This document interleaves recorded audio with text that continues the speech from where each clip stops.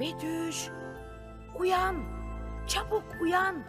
Ya hayır ya hayır. Evet, evet. Kalk hadi kalk. Sana ihtiyacım var. Uyuyorum anne ne olur beni rahat bırak. Sana derhal o şapşal kocanın kollarından kurtulup bana yardım et diyorum.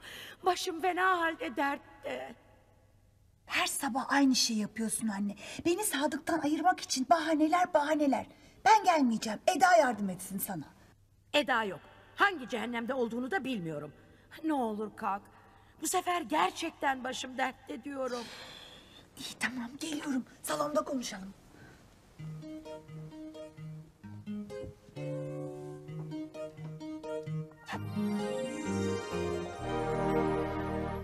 Ne oldu yine anne? Ay Betüş şu anda kolumda bir maymun var. Iı, Çok sinir bir şey. Ay çabuk söyle onu nasıl yok edeceğim? Ne? Bir maymun mu? Bu defa nasıl becerdin anne?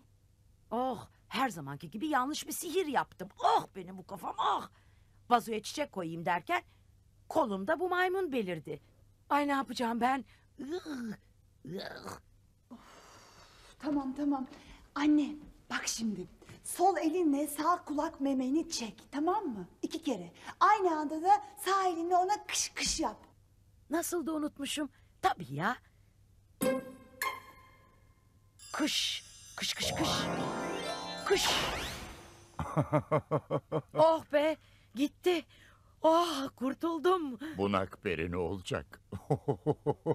Gülme Taci. Şimdi sinirimden seni de bir maymuna çevirmeyeyim. Oo. Gitti mi anne? Evet, evet. Aman, neyse. Kurtuldum çok şükür. Çok iyi. Eğer şimdi izin verirsen ben de tatlı kocamın yanına uyumaya gidiyorum. Aman git git hiç durma. O şapşaldan ayrılınca omuzuma yaslanmak için çok yalvaracaksın ama çok. Anne, lütfen kocama şapşal demeyi keser misin? Bir kere ben onu çok seviyorum. Ve sen ne yaparsan yap biz hiç ayrılmayacağız. Ha ha sen öyle zannet. Ben senin bir ölümlüyle evli kalmana göz yumar mıyım sanıyorsun? Madem senin ondan vazgeçeceğin yok, o zaman ben de sizi ayırmak için olmadık sihirlere başvurmak zorunda kalırım. Hadi bay. Anne! Betüş Hanım. Firuze, Ay annenizi mi özlediniz yoksa? ay, şey Ay insan yeni evliyken hep böyle olur. Kocasının koynunda anasının kucağını özler. Sizin de öyle oldu değil mi Betüş Hanım? Ey gidi günler ey. Sadık Bey'in koynunda mışıl mışıl uyurken aklınıza anneniz geldi. Yataktan kalkıp salona geçtiniz. Sanki yanı başınızdaymış gibi başladınız onunla dertleşmeye. Ee, şey öyle de söylenebilir tabii Firuzeciğim. Biliyor musunuz? Ben de İstanbul'a ilk geldiğimde aynı sizin gibiydim. Memleketi annemi özleyip duruyordum hep.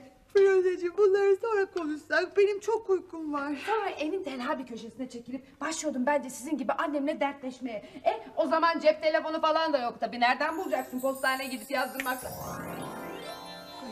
Firuzeciğim bunu yapmayı sana hiç istemezdim ama...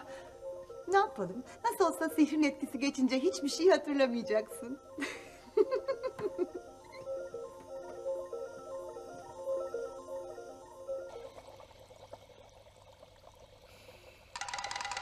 Ne yaparsam yapayım bana mısın demiyor. Betüş'ü şu şapşal kocasından bir türlü ayıramıyorum. Bu gidişle de bunu hiçbir zaman başaramayacaksın. Sana fikrini soran olmadı. Babası olduğuma göre pekala ben de bu konuda konuşabilirim. Bak Taci, Betüş'e biraz evvel olanları söylemeyeceksin. Yoksa fena yaparım. Tabii ki söyleyeceğim. Ona annen seni kocandan ayırmaya çalışırken sihirleri karıştırdı. O yüzden de kolunda aniden bir maymun belirdi diyeceğim. Hele bir söyle, hele bir söyle. Hem sen Betüş'le uğraşmayı bırak da Eda nerede onu düşün. Bak saat kaç oldu hala ortalarda yok. Ya başına bir şey geldiyse? Canın başına ne gelebilir ki? O bir peri. Lafa bak. Sanki perilerin arasında kötü niyetli olan yok.